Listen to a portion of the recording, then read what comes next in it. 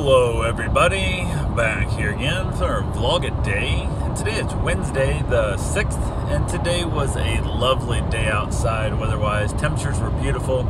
Uh, our sleep pattern is still off. Like, we're not getting sleep for crap since the daylight savings time. It's still kicking our butt. Um, got up this morning, kind of a slow start. Got everything loaded in the car. Um, Karen headed off to work, and I headed off to Sam's Club to pick up some more supplies I needed. And the number one most important thing I needed, which was Diet Dr. Pepper, because one of my locations was going to be either exceptionally low or out at the time, and uh, they were out of that. So everything else I could have probably held off without so I would have had enough to make it through to the next week. So, or, you know, film it off just stuff I had already at the house, and they didn't have any. So that kind of sucked, but we ended up going anyway. Luckily, I, I made that location, needed at the second stop, so I stopped in at a Walmart marketplace. Um, paid a little more than I should have for it, but it is what it is. So I'd rather have a little less profit and not be out than be out and not make anything. So went ahead, um, got my locations filled up, hit all the spots, got the monies out, all the fun stuff there.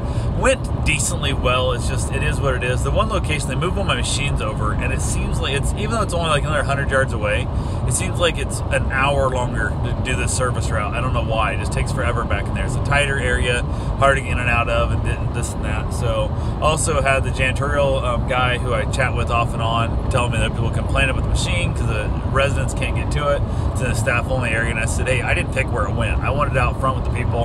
I was told by management I had to go back there until after the open house, which is supposedly coming up, I think, I don't know, next week, maybe this, I don't know, it's coming up soon. So I think it was the 17th, maybe something like that. I don't know. The, hopefully the open house gets done. They can push the machine out into where the rest of the residents can get it. Because that was the main reason it was brought in there was for the residents, not for the employees. So it is what it is. I got done there though, headed back home, got things put away. On the way um, back home, I stopped at the farmer's market uh, over here by the fairgrounds, and it's one reason I pushed back my route till today because I like to stop in here. Whenever I am doing my route on Wednesday, I always stop in and buy my wife an orchid. Uh, it's kind of our thing. I buy her a lot of orchids, and they're not that expensive. They're less than 20 bucks each. I've gotten some as cheap as five before.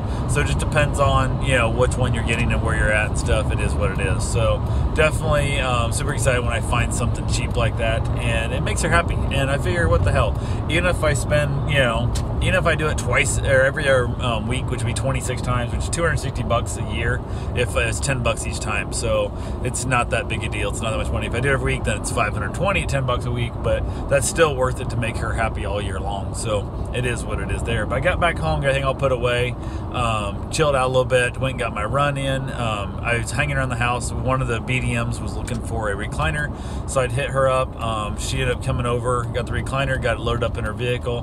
Before she took off, Karen got home, so we all three chatted for a little bit. Um, got my run in, got back home. I actually had ran in, um, when I took drop up the orchid to my wife, I picked up some, one of those fish meals, the $6 fish meals from Winn-Dixie or Publix, and they're just awesome. They're great. So went ahead and got that. Um, got the chair loaded up, sent her on her way. I got my run in, got a shower, and then we had ourselves a wonderful um, fish meal. Six dollars. It's it feeds both of us. It's amazing. went ahead. Um, got it in and out of the shower, got the food done, and we were both exhausted. We fell asleep on the couch watching some crap on Netflix and whatnot, and just chilled out. I ended up sleeping on the couch until probably like 11 o'clock or so, something like that. I think it was maybe midnight. I think it was probably 11 o'clock when I woke up. I hung around and stayed up until about midnight.